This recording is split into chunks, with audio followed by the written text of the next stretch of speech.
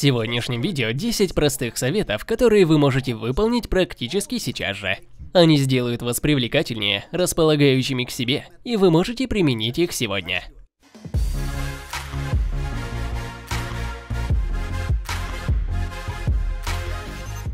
Первый совет – я хочу, чтобы вы думали о хорошем. Я хочу, чтобы вы были благодарны. Я хочу, чтобы вы были оптимистом. Потому что позитивные люди кажутся более привлекательными. И для этого достаточно щелкнуть пальцами. Понимаю, иногда это сложно, но вот в чем дело. Вы становитесь привлекательнее не только для противоположного пола, но и в общем для остальных людей, когда вы на позитивной ноте. Практикуйте позитив, скажем, одну минуту. Затем вы сможете две, может быть пять, двадцать пять минут. Но в любом случае вы уже будете чувствовать себя лучше. И это ведет ко второму совету, когда лучше себя чувствуете, вы выпрямляете спину. Вы становитесь выше на глазах. Вы начинаете вести себя с большей уверенностью. Вы становитесь позитивнее, и люди воспринимают язык тела. У некоторых из вас есть привычка смотреть вниз. Поднимите глаза, распрямите плечи и ходите так, будто вам есть что дать миру. Вы знаете, кто вы и чего вы придерживаетесь. Следующее, друзья, я хочу, чтобы вы улыбались, причем естественно. Вы уже думаете о хорошем, стоите ровно, и когда видите кого-то, практикуйте улыбку.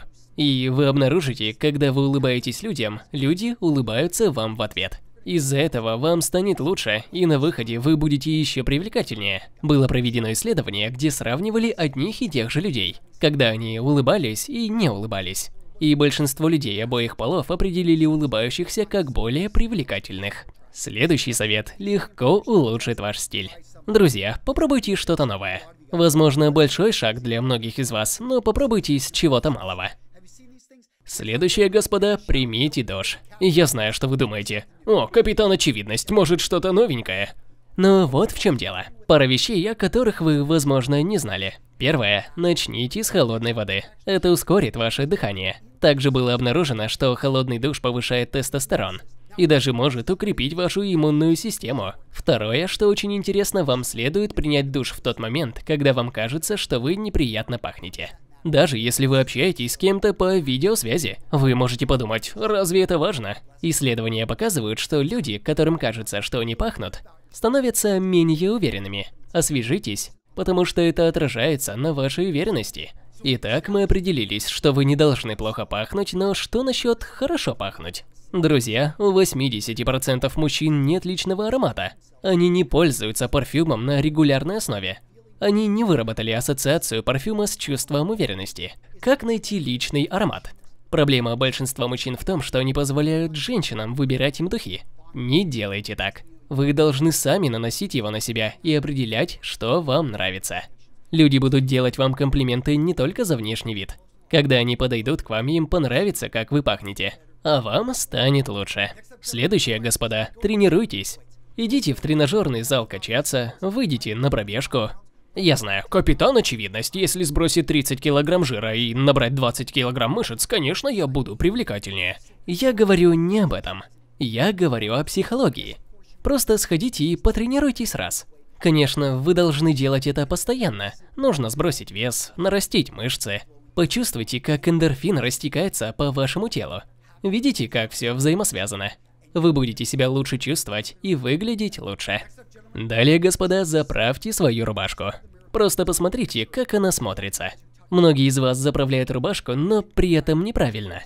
Вы когда-нибудь видели военную заправку? Такая рубашка будет лучше держать форму, а также сделает вас стройнее. Научитесь правильно заправлять рубашку, и это улучшит ваш образ. Далее знайте имя своего портного.